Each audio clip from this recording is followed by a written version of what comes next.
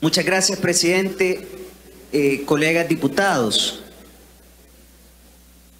he pedido la palabra, presidente, porque el día de ayer la Casa de la Cultura del Ciego estuvo cumpliendo 22 años desde su fundación y tuve el honor de asistir y compartir con, con cada uno de ellos. Y, y el día de ayer, presidente, se me encomendó entregarle a la Asamblea Legislativa, en nombre del artista, mi buen amigo Gonzalo Avelar, un artista ciego, quien ha escrito un poemario.